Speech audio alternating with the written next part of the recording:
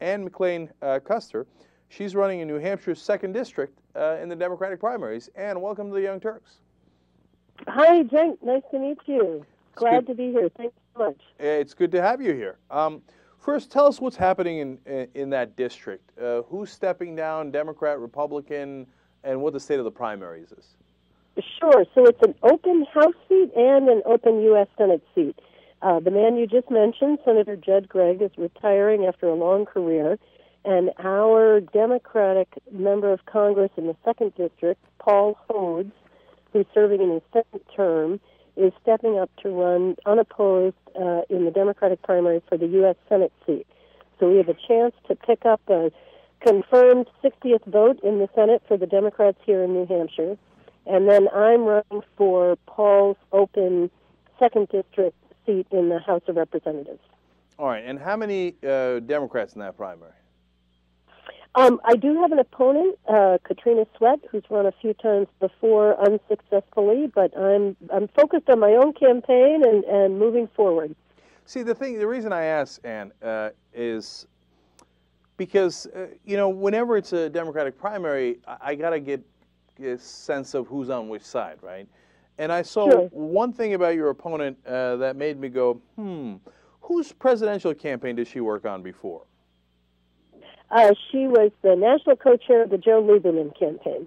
Hmm. But I'm very proud that groups like the Progressive Change Campaign Committee, NARAL, Emily's List, and lots of others have checked out the two of us in this race, and all of those groups have decided to endorse me in the Democratic primary.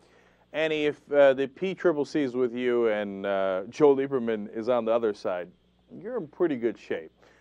So, Well, I've got to tell you, the PCCC endorsement was amazing. It came in Sunday night after the House voted on the health care bill. I'm uh, committed to the public insurance option and moving forward to uh, increase competition and bring down costs. I think the bill that was passed is a great start, but I want to go much further. So the PCCC um, put out their endorsement by email Sunday night, and I was completely blown away. We have had 3,200 contributions from donors across the country. In um, about the first six hours, we raised $30,000. And right now, we are the number one um, campaign on ActBlue, and I encourage all of you to go to ActBlue. It's Kuster with a K, K-U-S-T-E-R for Congress.com. And um, So- we welcome your support. The average contribution ten dollars, and from three thousand two hundred donors. so uh, how many hours did it take to raise thirty thousand dollars?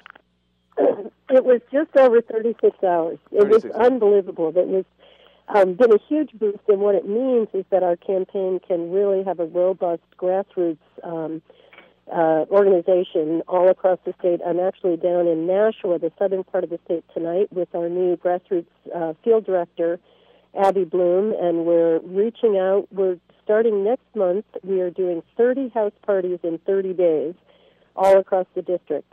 And, And- already I have over 1,000 community leaders and grassroots activists that have signed on to the campaign, and they come from over a 100 towns across the second district. You know, So my district goes all the way from Massachusetts on the southern border to Canada. Annie, it, it's it seems like this is changing the games, uh, the rule of the uh, rules of the game a little bit in politics. Because back in the day, when you went to go run in the second district of New Hampshire, um, you had to raise money uh, from, I guess, local support and however you could with advertising to reach out to those people, whether it's mailers or not, and uh, and honestly, you know, uh, corporate contributors, et cetera. Does this? How much does it change the game that you can gr- get money from all across the country because a, a known, trusted, uh, you know, progressive group uh, backs your campaign? It's a fantastic new development, but I've got to say, um, I am actually supported both in the state and outside the state. So, as of today, we have raised more money in New Hampshire than any congressional campaign ever. Um, we are closing in on a trying to reach our goal of eight hundred thousand dollars by March thirty first, and we're well on our way to do that. We have over fifteen hundred donors inside New Hampshire but it certainly helps a lot to have 3,200 donors all across the country. So the combination will be a lot like the Obama presidential campaign, where um, we'll have that grassroots support. We can, you know, I'm a big fan of campaign finance reform, but until we get that in the Congress, I plan to do this um, people powered, right close to the ground, where $10 donors added up can make an enormous difference in this campaign. We're talking to Ann McLane Kuster. Uh, her website is kusterforcongress.com. That's K U S T E R. And Annie, I got to ask you the same unanswerable question in my mind. Nonetheless, I'm going to ask it that I always ask people who are running for office.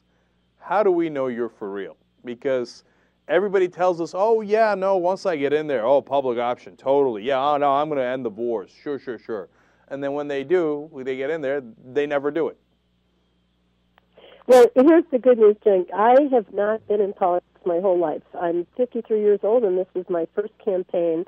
What I've been is a community activist and an advocate for the people right here in New Hampshire. So I've cut ranks in uh, the nonprofit sector, working in social services uh, for health care for for all in New Hampshire, for access to higher education for middle families. Um, the kind of work that I've done, I'm an adoption attorney. Uh, my mother had Alzheimer's, and we wrote a book together, and I went to nursing homes and senior centers talking about aging and Alzheimer's. So politics um, is coming late to me in my career, but it's because I care so much about the direction of the country I've got two teenage boys, and I'm simply not willing to sacrifice their future to the mistakes of the Bush administration. Um, so I tell everybody at every single one of my house parties, I may only be there for two years. I'm a very candid person. I'm very direct. But um, to see me is to know me, and that's what you get. And I have nobody that I am responding to other than the people of the second district of the state of New Hampshire. And at ten dollars a pop, I won't owe anybody anything.